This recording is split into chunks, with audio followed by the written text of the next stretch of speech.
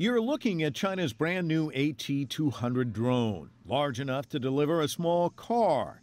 It's nearly 12 meters long, can fly more than 2,100 kilometers at a time, and cruises around at 313 kilometers per hour.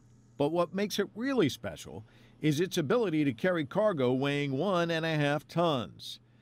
This month, it took off on a test flight from northwest China's Shaanxi province, just its second public flight.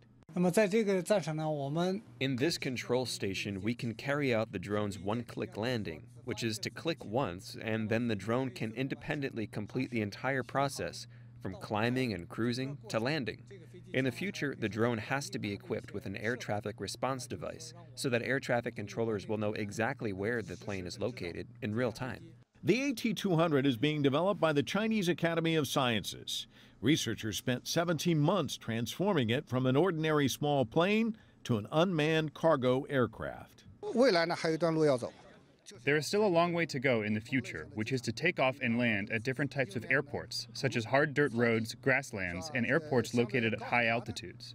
The drone should adapt to all of these. The AT 200 could soon join delivery drones in the sky from companies like Chinese e commerce giant JD.com.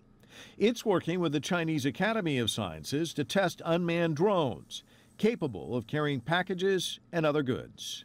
The hope is to fly these drones into remote parts of China, bringing down the price of goods in faraway places like Xinjiang. What's more, goods produced in these remote regions could more easily get to bigger cities. And as transportation costs go down, so do prices consumers will pay.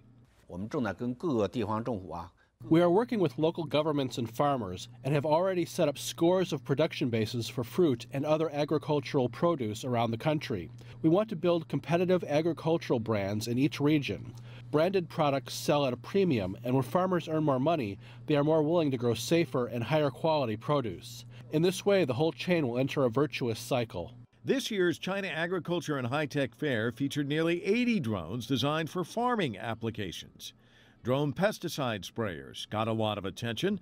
The drones automatically detect how much pesticide is needed, then spray with accuracy down to millimeter levels.